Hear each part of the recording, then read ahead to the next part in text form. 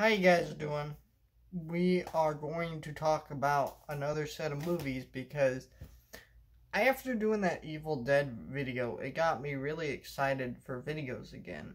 And uh, I think I want to continue that track record, kind of talking about newer movies, but also older movies, and not doing, oh my god, I gotta review this movie in this video, and then do another video, and do another video, and do another video. You know, you know what I mean? Like at the when you're reviewing a set of movies and making into separate videos, it's kind of annoying. It's kind of nice to talk about a trilogy of movies in one video instead of three separate videos or something like that.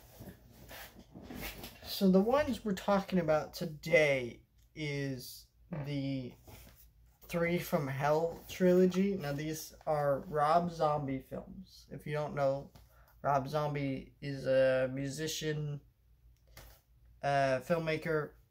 I think he's best known for his music because his films are kind of not the greatest. Like here's some of his films.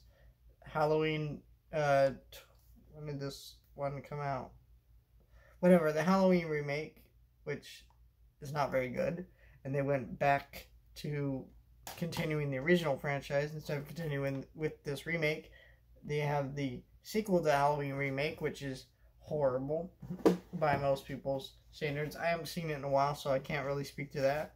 This strange animated film, Lords of Salem, and you know, there's 31. But yeah, he just has a lot of not the greatest films. So yeah, he's kind of an oddball director. Um, but is but I enjoy his films, and these this trilogy is the perfect examples why. Because these are fucked up movies. Uh, uh, there's no other way to describe them.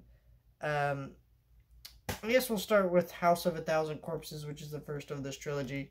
This, and this is not an intentional trilogy. Um, this movie came out. It was a low budget movie, and it's his first movie.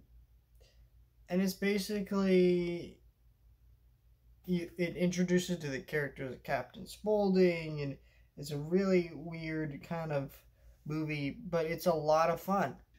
And yeah, it says two young couples take a misguided tour onto the backroads of Amer- of America in search of a local legend known as Doctor Satan Lost, Lost and and Standard stranded. They set upon.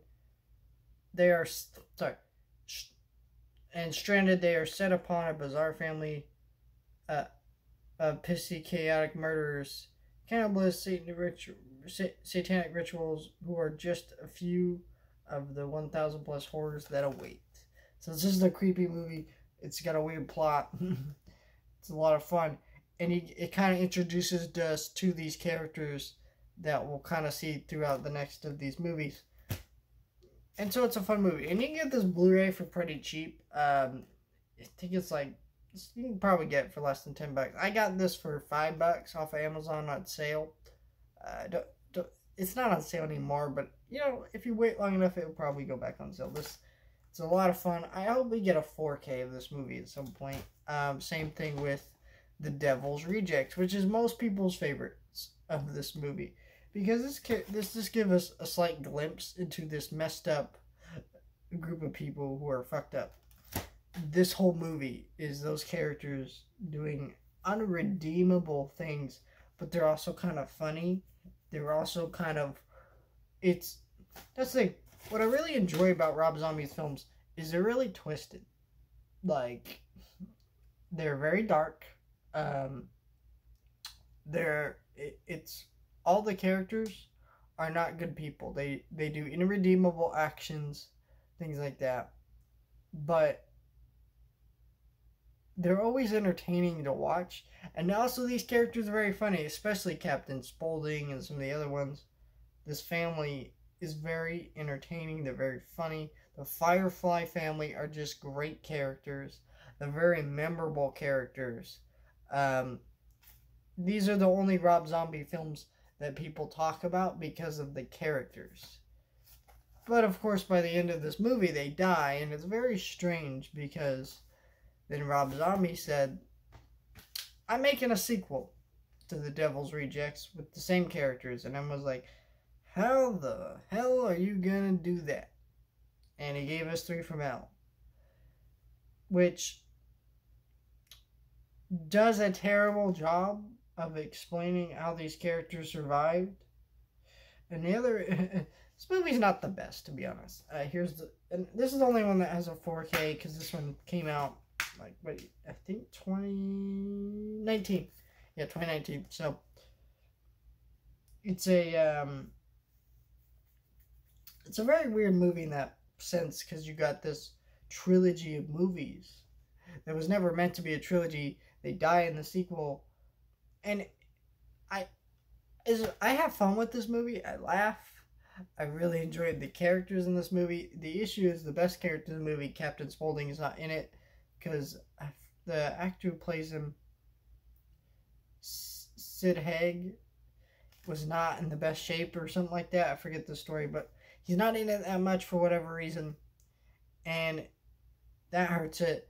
And also, just it didn't need to be a trilogy. Uh, see, I really enjoyed the Devil's Rejects, watching these characters do messed up things, but it's very justified by the end of those by the end of that movie that they die because they're fucking messed up.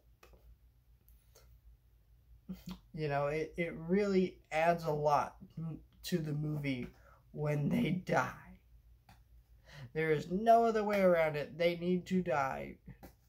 And so, like, in this movie, there are people, like, trying to get these people out of jail and, like, nah, they're free the Firefly family. And I'm like, no, it, it just felt so much like Rob Zombie kind of lost the plot of what's going on here. And he just like, he just kind of was like, well, all my movies have negative will against them. This is the only one that has goodwill for it. So might as well just uh just go for it and make a sequel and he doesn't really care about how he did it if it if it made sense or not or whatever. It it was fun. I had some ent- entertainment, but it's not good. And to be honest, these aren't the greatest movies. These are just kind of horror. These are kind of junk food horror movies. I would say they're not well written. They're kind of cheapo, low budget movies. They're kind of dirty and grimy and ugly looking movies but they're a lot of fun if you are someone just eats up like crazier, weirder, bizarre movies that are really messed up, like I do, and that's why I enjoy these movies. And I think they're a fun trilogy of movies. You can watch them as a trilogy now, which is kind of fun, and they are fun to watch as a trilogy. I watched them as a trilogy. So, that was that's for my thoughts on the Devil's Rejects trilogy or the Three from Hell trilogy or whatever you want to call it. It's kind of like um, it's kind of like uh, Edgar Wright's uh, what is it? Um, you know, whatever the one, whatever the name of the trilogy for, whatever the trilogy name is for Hot Fuzz and you know those movies, if you know what I'm talking about. It's kind of like that, where it's an intentional trilogy, but you can watch it as trilogy and it's a lot of fun.